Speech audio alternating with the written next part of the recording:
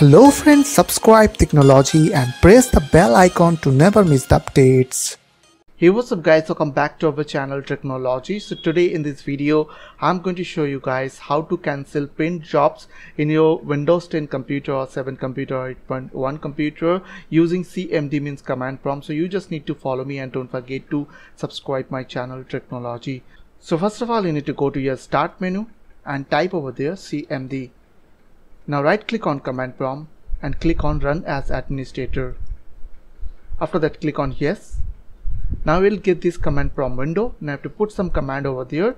So I will give you the command on my video description. So you can copy paste from there. So the first command is net stop spooler. Okay?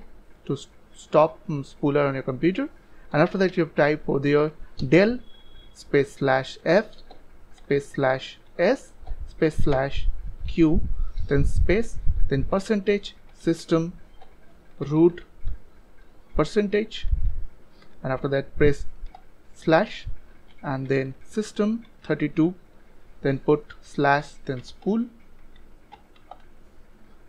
then slash you have to put here printers and then slash then star. Star means all. So after that click on enter from your keyboard so as you can see all the painting job are deleted from my computer. So after done you have to start the uh, spooler. So just type over there net start spooler. And after that press enter from your keyboard. So after that we're done. So i hope this small video will really help for you. And please don't forget to click on the subscribe button like button and share button. And if you have any queries or question then comments down below. I will see you guys in the next one next video. Take care